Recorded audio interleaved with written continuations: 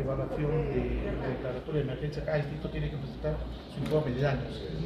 Con su informe de daños, el señor alcalde va a viajar a la ciudad de Lima a presentarlo al Ministerio de Economía y a la presidencia del Consejo de Ministros, porque tienen una reunión, creo que es el 17, con 25 o 24 alcaldes provinciales, y él tiene que llevar una propuesta de solución de la problemática vial de Arequipa.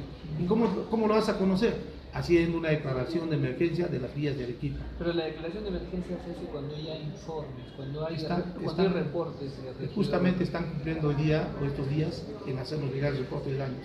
¿No ¿Hasta considera, no considera que siempre hacemos las cosas al revés? Primero se hace En la todo caso, señor periodista, en todo caso, hasta que los alcaldes hagan llegar sus Arequipa sigue como está.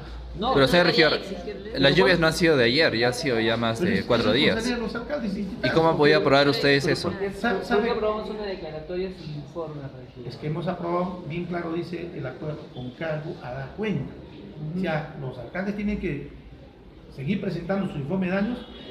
Aquí la oficina del municipio evalúa, tabula todos los informes económicos y de daños, y eso el alcalde va a Así como se ha dado en años anteriores, que tal los alcaldes no presentan, la mayoría no presentan los informes. ¿Y la declaratoria cómo queda?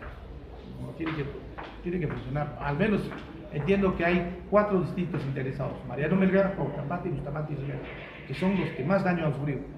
Hasta donde tengo conocimiento, los tres distritos están interesados. Ahí han estado en la reunión y solamente falta que cumplan. No necesariamente van a estar los 29 distritos.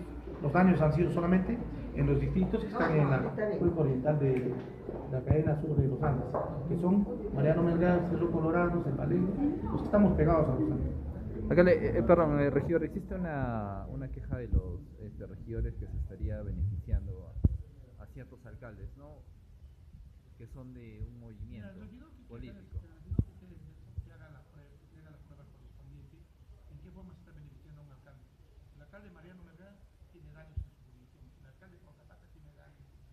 Apoyar a un distrito no es favorecer, al contrario es trabajar por ese distrito. Se encuentra se encuentra Bustamante. Encuentra Cerro